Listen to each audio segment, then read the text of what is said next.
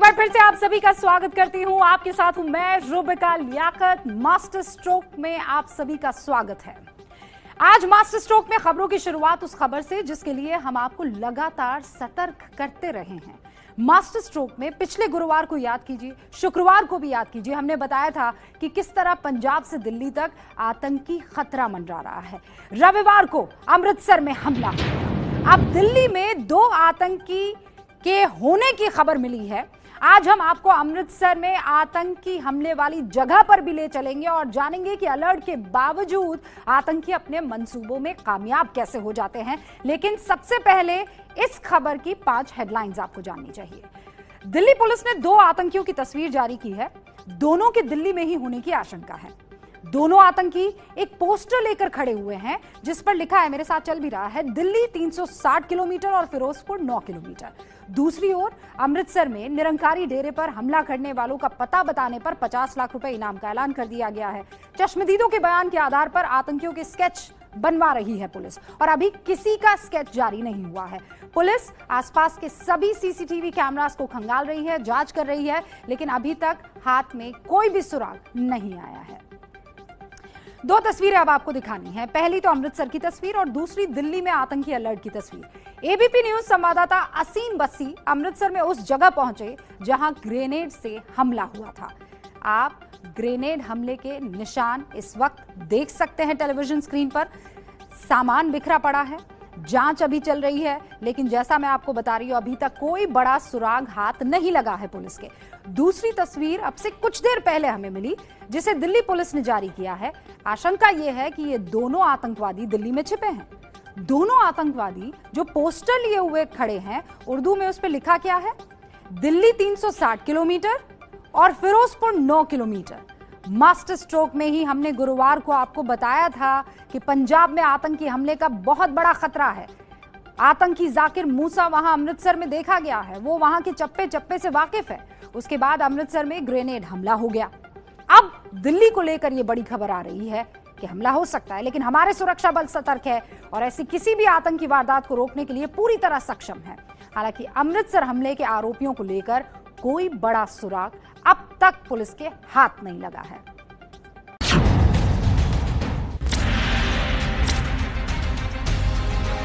तो यही वो डेरा है निरंकारी सत्संग भवन, जिसके अंदर आतंकवादी हमला हुआ था। के अंदर आप देख सकते हैं, यही वो मेन गेट था, जहाँ से एक शख्स पहले ही अंदर जा चुका था, जिसके पास ग्रेनेड था।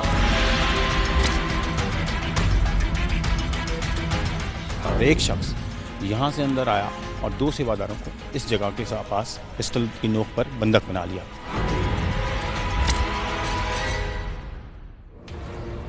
एबीपी न्यूज़ टीम विशेष इजाज़त लेकर अमृतसर के राजा सांसी गाँव के उस सत्संग भवन के अंदर पहुँची जहाँ रविवार को दो आतंकियों ने ग्रेनेड से हमला किया था। सत्संग भवन आप देख सकते हैं वही सत्संग भवन है जिसमें रविवार को कार्यक्रम चल रहा था और वो मेन गेट वो मेन गेट वहाँ से वो अंदर एंट्री करता है और आगे जाके ग्रेनेड लॉब कर देता है। पुलिस और एनआईए की टीम ने घटना स्थल को अपनी निगरानी में रखा है। लगातार सबूत जुटाए जा रहे हैं।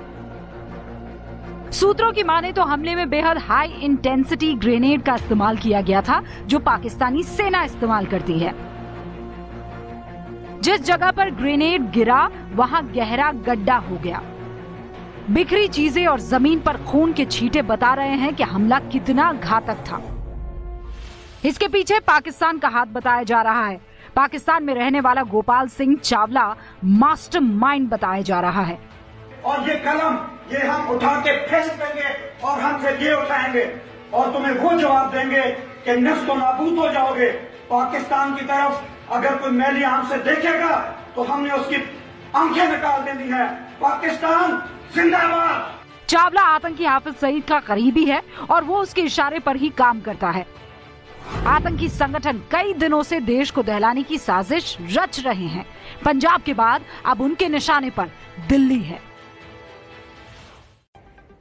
तो पंजाब में खालिस्तान के ज़रिए आग लगाने की साजिश पाकिस्तान में हो रही है। प्लान आईएसआई बना रहा है। आपके लिए कुछ जानना बेहद ज़रूरी है। ऑपरेशन ब्लू स्टार याद कीजिए, उसकी 36वीं बरसी पर रेफरेंडम 2020 लॉन्च करने की तैयारी हो रही है। खालिस्तान की मांग के लिए सोशल मीडिया पर जनमत संग्रह का प्रोपोगेंडा फैलाया जाएगा। भारत का मोस्ट वांटेड परमजीत सिंह पंपा इस साजिश को अंजाम देने में लगा हुआ है। यही है वो। परमजीत सिंह पंपा की मदद पाकिस्तानी सेना का कर्नल है एक शाहिद मोहम्मद मलही। उसे चौधरी साहब भी कहते हैं, वो कर रहा है। सोर्सेज हमें ये बता रहे हैं कि आईएसआई अमेरिका की सिख फॉर जस्टिस संस्था को भारत में माहौल बिगाड़ने के लिए फंड दे रहा है। मास्टर स्ट्रोक की खबरों को आप बेहतर तरीके से समझ सके। इसके लिए हमने इसे दो हिस्सों में बांटा है, एक तो व्हाइट और दूसरा ब्लैक आपको यह बताया जाता है व्हाइट वो खबरें हैं जो होती हैं और ब्लैक जिसे आपसे छिपाया जाता है या किसी कारणवश आप उसे जान नहीं पाते। अब वक्त है खालिस्तानी आतंकियों की खबर का। ब्लैक आप जाने।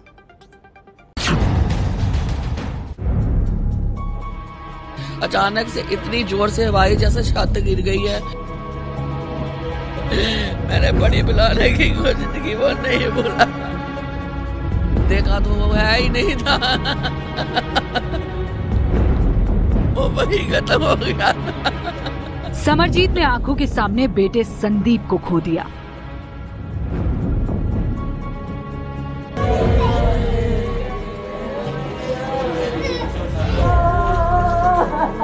कुछ नहीं कह के निकले हम तो शरने चलने दस बजे चल गए ना तो गए ये कुलदीप सिंह का परिवार है। कुलदीप सत्संग में गए थे लौटे नहीं।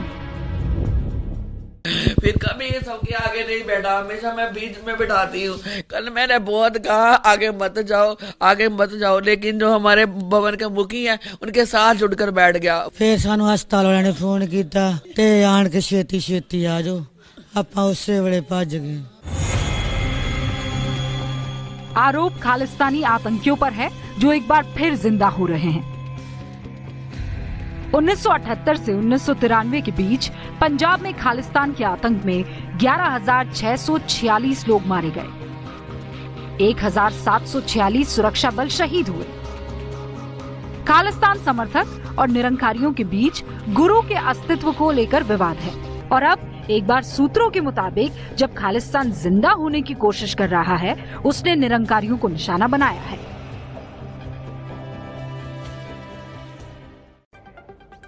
आपको पता है, भारतीय संविधान के प्रियम्बल में 1976 में एकता के साथ एक और शब्द जोड़ा गया था। अखंडता। और बरसों से इसी अखंडता को निशाना बनाने की फिराक में है ये खालिस्तानी। इनमें और कश्मीर के अलगाववादियों में कोई खास अंतर नहीं है। ये सब क्या करते हैं? पंजाब से दूर, दूसरे देश में बढ़िया ज़िंदगी बसर करते हैं और पंजाब के युवाओं को बरगलाते हैं। भारत को एक सुर में इन आतंकियों को कहना चाहिए और इनफैक्ट कहते हैं हम कि खालिस्तान का हिंदुस्तान में कोई स्थान नहीं है। ये है एबीपी न्यूज़ आपको रखे आगे।